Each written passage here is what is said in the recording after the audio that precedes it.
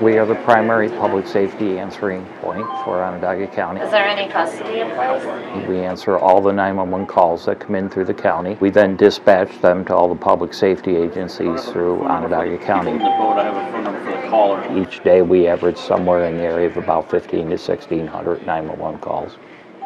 Our entry-level position is a public safety telecommunicator. They are the call takers.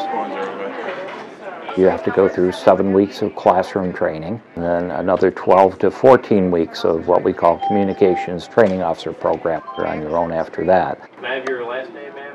Public safety dispatchers who dispatch the calls to the police, fire, EMS agencies, they have to undergo an additional three weeks of classroom training for each discipline that they dispatch in, as well as another 12 to 14 weeks of on-the-job training for each discipline. Is that the officer? I'll let you go then, okay?